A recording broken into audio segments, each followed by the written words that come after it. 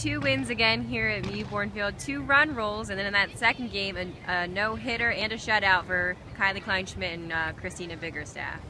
You know, the pitchers are doing a great job. They've pitched well all weekend.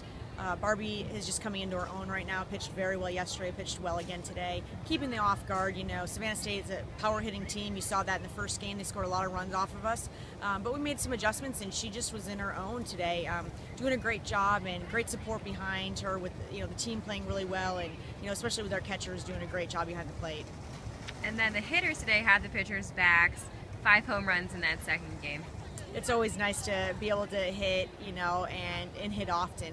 You know, we, we cash a lot of runners in. We have four runners on base this game, and, and that's huge for us. So I think, you know, we're really talk about, you know, making sure that we're getting those runners in when they're in scoring position. And, you know, we made that happen today. So I'm really proud of the team, you know, to, you know, to do that both offensively and defensively. Again, hitting's contagious, and you know it's fun. It's fun to hit.